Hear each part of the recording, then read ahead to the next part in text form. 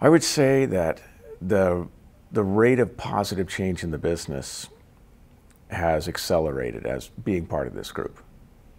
And I, I can attribute it to Vistage, yes. It would be a little bit unfair because I really attribute that to the group, including Derek as the chair of our group, to the group itself. There's an incredible amount of talent and wisdom in that room that you just have no other way to get access to. This is a group of people that is committed over time to really learn how each other ticks.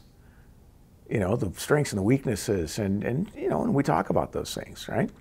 It's a group that can call you out on the weaknesses, and it's also a group that when they recognize you for doing something well, means that much more because they have a right to that opinion.